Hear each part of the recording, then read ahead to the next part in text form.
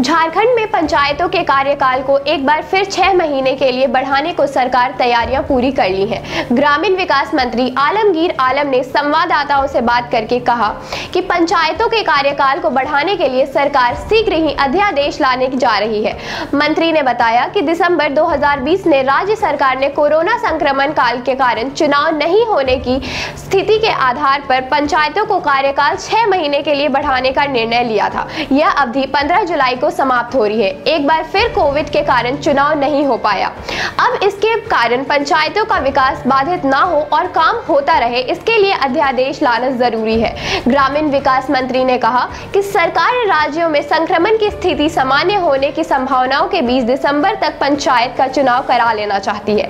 दिसंबर माह में तीसरे सप्ताह में चुनाव हो जाने के बाद तीसरी बार कार्यकाल बढ़ाने की ज़रूरत नहीं पड़ेगी।